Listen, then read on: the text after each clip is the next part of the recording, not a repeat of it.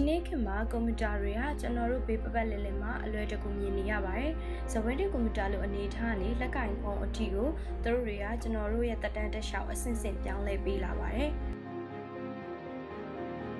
ဒါပေမဲ့ကွန်ပျူတာဆိုတာဘာလဲကိုယ့်ကိုသိချပြန်မေးကြည့်ဘူးလား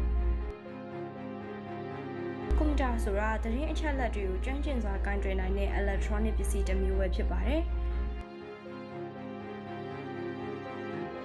ကွန်ပျူတာကတော့ data အချက်လက်တွေကိုတစ်နဲ့သုံးညလို့သာမြင်ပါတယ်။ဒါပေမဲ့ဒီအချက်လက်တွေကိုပေါင်းစည်းပြီးဓာတ်ပုံ၊ရုပ်ရှင်၊ website, game စတဲ့အရာတွေရရှိအောင်ဘယ်လိုလုပ်အောင်လဲဆိုတာကိုကောင်းကောင်းသိပါတယ်။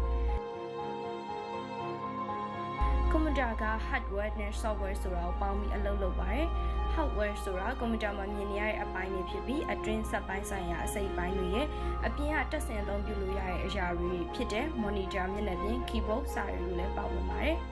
software ဆိုတာတော့ hardware ဘာလို့ရမလဲဆိုတာကိုခိုင်းပေးရတာပဲဖြစ်ပါတယ်။ဥပမာအပြင် website ရှာဖွေခြင်း၊တခြင်းရုပ်ရှင်ကြည့်အသုံးပြုနိုင်သောညွှန်ကြားချက်အစု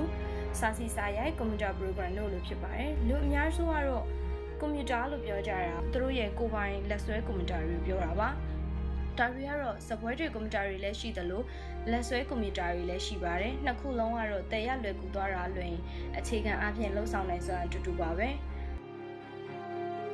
လက်ဆွဲကွန်ပျူတာတွေကတော့ PC personal computer နဲ့ Mac ဆိုပြီးနှစ်မျိုးရှိပါတယ်။ PC တွေကတော့အသုံးများဆုံးအမျိုးအစားဖြစ်ပြီး company အမျိုးမျိုးကထုတ်ကြပါတယ်။သူတို့ကပုံမှန်အားဖြင့် Microsoft Windows လို့ခေါ်တဲ့ကွန်ပျူတာလက်ပတ်ရေး program သုံးပြီးတော့အလုပ်လုပ်ပါတယ်။ Mac or Macintosh ကွန်ပျူတာတွေအလုံးကတော့ Apple လို့ခေါ်တဲ့ကွန်ပျူတာတစ်ခုတည်းကနေထုတ်လုပ်တာဖြစ်ပါတယ်။သူကကြတော့ Mac OS လက်ပတ်ရေး program ကိုသုံးတာပါ။ ကွန်ပျူတာတွေကပုံစံအမျိုးမျိုးအရွယ်အစားမျိုးမျိုးနဲ့လာကြပါတယ်။ mobile phone, tablet, game cloud နောက်ဆုံး TV တောင်မှကွန်ပျူတာကိုအခြေခံပြီးလုပ်ထားတာဖြစ်ပါတယ်။ဒါမဲ့ဒီပစ္စည်းတွေကစပွဲတင်ကွန်ပျူတာတို့လက်ဆွဲကွန်ပျူတာတို့လုပ်တယ်လို့တော့အကုန်မလုပ်နိုင်သေးပါဘူး။